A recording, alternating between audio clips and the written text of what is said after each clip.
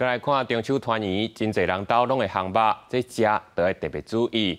根据疾管署的统计，顶礼拜走北食排巴肚去医生看，都有超过十五万人。假期好耍，患者恐惊阁增加，也若就是几工来诊所看病人嘛真多，超过一半拢是细汉囡仔，家长嘛特别细致。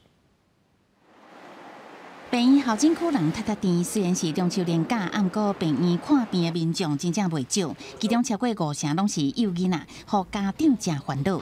附近的同事什么的都是都是小朋友，都是在病毒大流行啊，龙呼吸道龙的病毒、腺病毒都有，大家多戴口罩啊。然后酒精都带在身上。入秋以后，婴幼儿感染病例大流行。台中一间做未来中心为这个月七十开始，陆续发现红婴有上呼吸道的镜头，就医证实是 RSV 规定小位。最后一个是日益出现镜头，累计有八个细汉囡仔会持续监控到十月七日。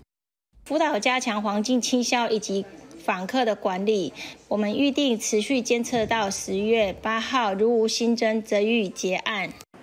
除了呼吸道迎合病毒发作以外，疾管署统计也发现，今年因为落下来门诊就医，已经为三礼拜前的十三外万人，到顶礼拜升关到十五万外人。加二零二零年至二零二二年同期比起来有较悬，已经登来到疫情前就医的人数。医师也讲，除了中秋连假航班饮食所引起的落下，目前社区当地流行的诺罗病毒、流感、腺病毒、新冠这传染病，拢可以造成落下。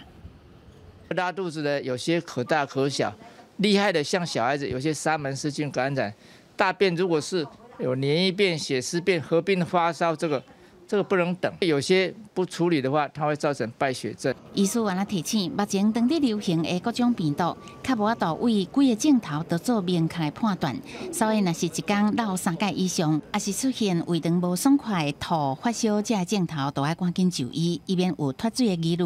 嘛，一定要落实手的卫生，过来洗手。记者综合报道。